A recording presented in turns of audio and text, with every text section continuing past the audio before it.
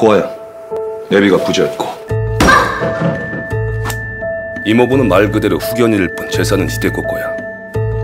생쥐 같은 우리 수키가 낮이면 옆에 바짝 붙어 앉아서 나를 사랑하게끔 살살 꼬여주기만 한다면 백작이 도착했다.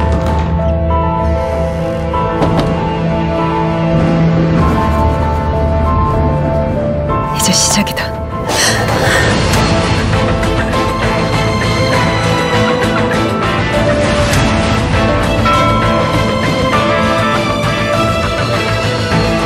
난 모르겠어. 내가 그분을 사랑하는지. 사랑하게 되실 거예요.